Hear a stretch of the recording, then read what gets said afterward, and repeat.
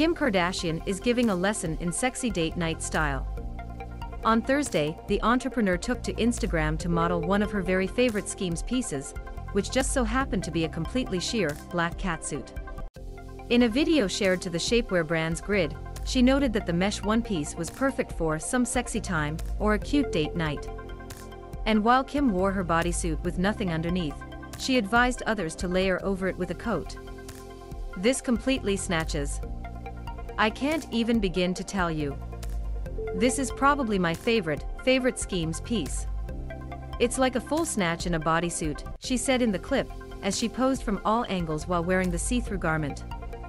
You can totally wear it with a coat over, because you definitely don't want to wear it this sheer, Kardashian added, as she slung a Balenciaga faux fur jacket over her shoulders and put on a pair of black sunglasses and boots.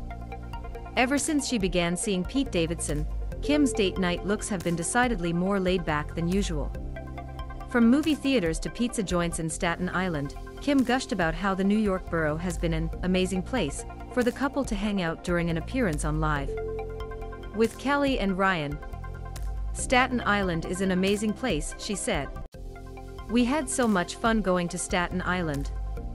I wanted to check it out.